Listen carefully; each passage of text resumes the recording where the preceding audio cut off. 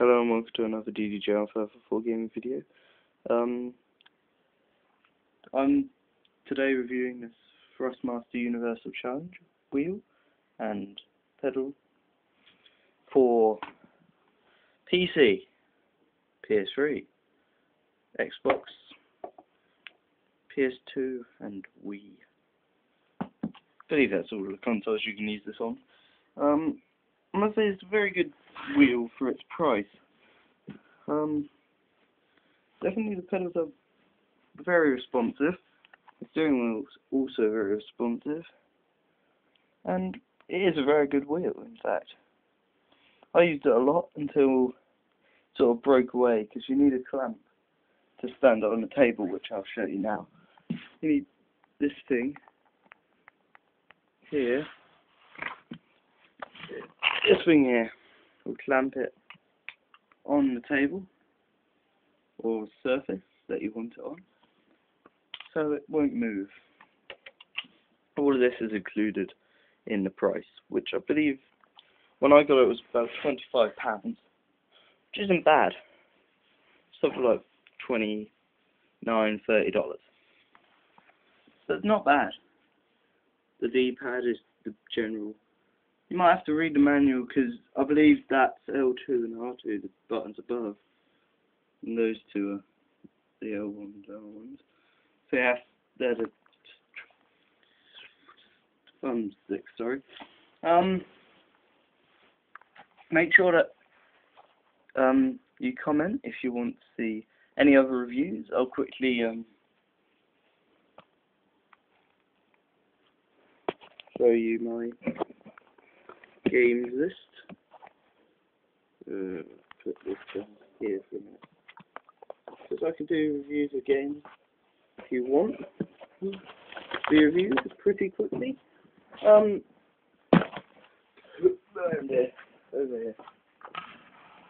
Okay, right back there, which you can't see, is Avatar, the game, with Beijing 2008, Dirt 2, COD 4, 5, 8, 2011, FIFA Street 3, FIFA 8, FIFA 9, FIFA 10, 2010 World Cup South Africa 11 and 12, Gran Turismo, Harry Potter, and Half of Prince, Killzone, Midnight Club, Need for Speed Hot Pursuit, and Shift 2, along with Shift, the original. Prince of Persia Pure Football, Disney Pirates of the Caribbean at World's End, Racquet Sports, Spider-Man, um, Star Wars The Force Unleashed, Top Spin 4, Virtua Tennis 2009, WSC Real 09, Assassin's Creed Brotherhood, Pro Evo 2011. Now, sorry about that, back to the wheel now. Um, so this wheel isn't the biggest wheel, but it's definitely worth it for the casual gamers out there. As I said before, the pedals are definitely very good.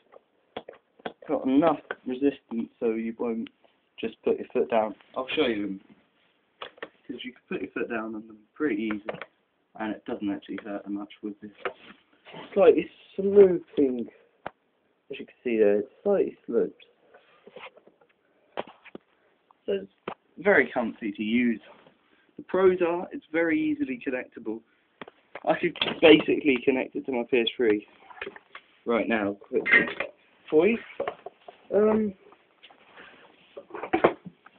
I come over here, you basically get this USB and plug it into the spare USB port, which for me, having a PS3 Slim, isn't there. It's really dark there, so you won't see it. Maybe a Thrustmaster, you can probably pick up something like 20 quid now. It's also pretty responsive, which helps. And you can edit the controls so it's um, perfectly set up so the gears are the gears, the pedals are the pedals. So overall, the quality is very good in this. We've, our family has had it for like, what is it now, three years? Yeah, three years. And, um, it still survived with barely any scratches. So that's pretty good. Um, durability is definitely good. Connectivity is good because it can connect to loads of consoles.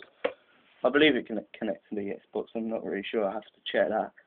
But um, yeah, it's a very good wheel for the price. So I'd give it an 8 out of 10 because there are more responsive, probably better simulation wheels, but this is a good wheel for the casual gamer. Thank you for watching, and be sure to comment, rate, subscribe, because I'll be hopefully uploading a lot of videos pretty soon. The DJ Jam 544 out.